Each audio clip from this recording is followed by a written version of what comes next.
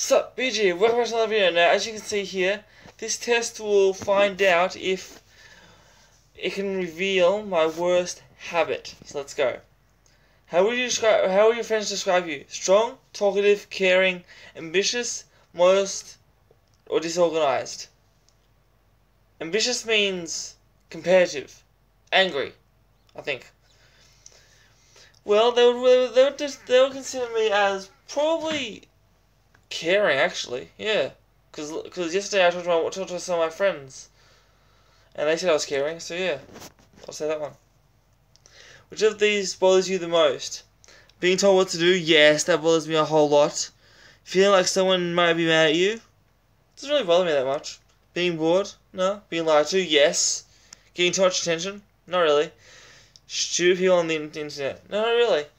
I'm so, so, so between getting like getting lied to and being told what to do. Probably being told what to do. Which sounds most like after a breakup. Maybe I should text him and see how I see. Maybe I should text them, see how how they're doing. Effort. I'm going to get. I'm to get drunk. it was probably my fault. I'll just. I'll just have a quick look on their Instagram. I'm never talking to them again. I knew it was the last. I knew it would last anyway. This is what. This is what I say. It was probably my fault. That's true. How emotionally open are you? Half and half. I have no problem showing how I feel, but I have a hard time talking about it. Open up eventually, if it takes a while.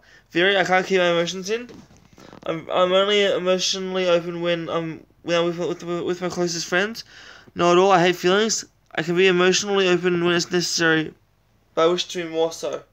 Play that one. How often do you get stressed? This is just like the last video when the when um you know the guy was talking about stress.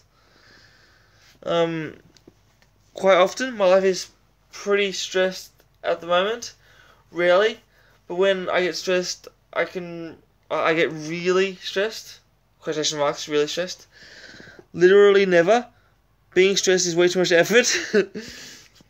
I can never really tell how often I get stressed. It depends on the situation and how I'm feeling at the time. Now and then, I, I try to stay as chilled as possible. Or I'm stressed right now. Um, I think quite often my life is pretty stressful at the moment. Yeah, I'll say quite often. Pick a picture that, that sums up how you current how you currently feel. Right now,